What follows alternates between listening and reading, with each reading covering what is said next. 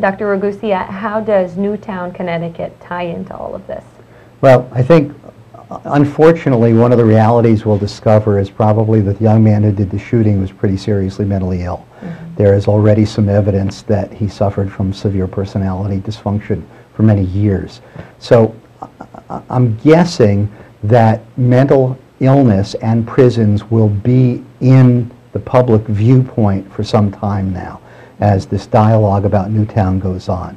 So I think this is a crisis moment that we can use to advance a cause, mm-hmm. and that is to make sure that people have treatment available to them when they need treatment, that we practice primary prevention, and that we don't see jails as repositories for our mentally ill. Mm-hmm. Okay? You know, one of the things that's going, been going on in Florida in the last couple of years is our governor has been trying to introduce the concept of having prisons be run by for-profit corporations.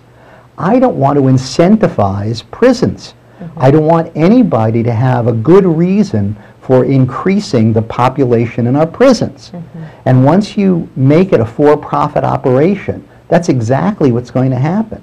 It's what's happened in Louisiana already, where they have the largest prison population per capita of any state in the United States. Part of it's because they've got for-profit prisons. It's a dumb way to do things, mm-hmm. okay? Mm-hmm. So as we look at what's happening in Newtown, we got to use this opportunity as a chance to correct some of the big mistakes we've made over the last 50 years. Mm-hmm. And one of those mistakes, I think, is taking away all these mental health facilities. We- need to get those back. That's correct. Um, And, and at one point, they were nonprofit facilities operated by county or state governments, and now they are just barely scratching along. The, the one here in Monroe County is operated as the Care Center, and that is run by um, a corporation that has headquarters in Las Vegas um, and a branch office in the Bahamas. Really. Now, I have a hunch that we could be providing care in a more monetarily efficient way, Mhm. Oh, absolutely. okay? Um, And that used to be a very well-funded, well-staffed facility.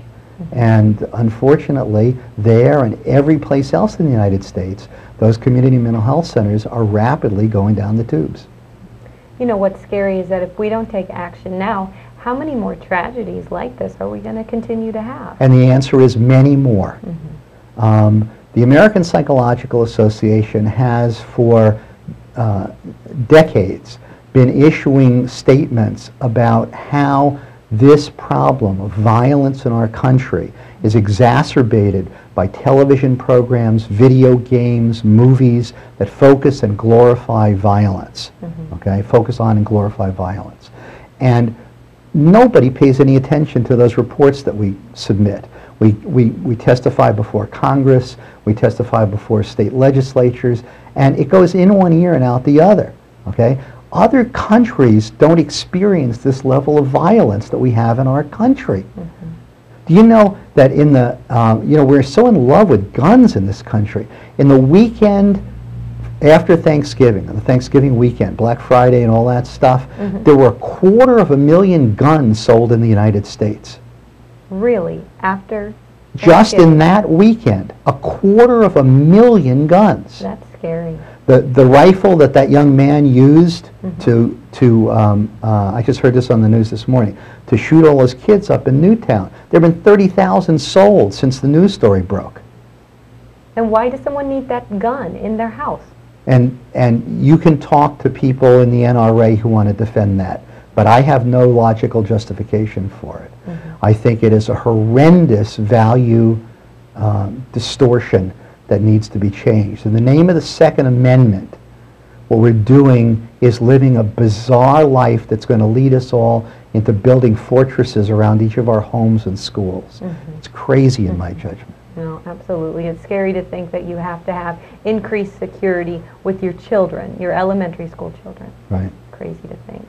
Well, Dr. Ragusia, thank you for being on this morning, for sharing all of this information. If you want more info on Dr. Ragusia, check out the information that you see on the bottom of the screen. And thank you, everyone, for starting your day out with us. I hope you can join me back here tomorrow at 7 a.m. and then back at 8.30 a.m. Take care and have a great rest of your day.